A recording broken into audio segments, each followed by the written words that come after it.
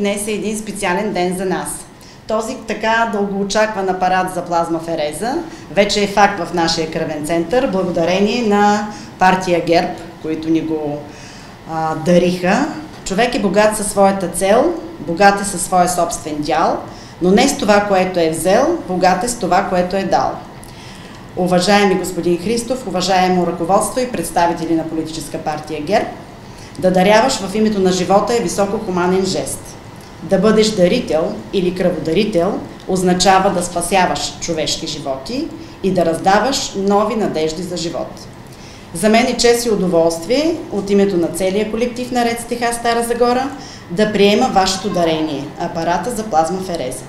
Искам да изкажа своята най-искрена благодарност за предоставянето ни възможност, чрез тази ваша инициатива, ние да работим в името на нашата кауза. Обедена съм и вярвам, че заедно можем да се справим с всички предизвикателства на настоящето и бъдещето. От все сърце ви желая здраве и благоденствие, поклон пред вашата човечност и съпричастност. Благодаря. Заповядайте. Благодаря ви. Тук сме не просто за да подарим апарата. А, тук сме за да ви кажем, че всички сме заедно. Да благодарим на хората, които правят всичко възможно, дават всичко от себе си, за да се пребориме не само с тая болест, да се преборим не само с този вирус, а и с всичко това, което е предизвикателство към човешкото здраве. Бъдете здрави, още веднъж благодаря ви за всичко това, което правите. Благодаря. Апаратурата, която получихме от най-ново поколение е предназначена да извлича плазма от дарители на плазма. В момента ще я използваме за производство на реконвалесцентна плазма от преболедували COVID-19. Започваме вече предварителното записване на преболедували, които трябва да бъдат предварително изследвани и да ги насрочим след ден или два, след като излезнат резултатите от предварителните изследвания. Вече работим.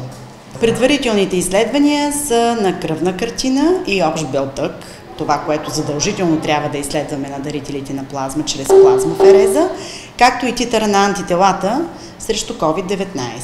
А в времето на самата процедура на плазмаферезата се вземат другите наши изследвания, които съпровождат всяко даряване. Това са изследванията за кръвна група, антиеритроцитни антитела, както и за трансмисивни инфекции на всеки дарител. Първото условие е да имат положителен резултат от PCR тест.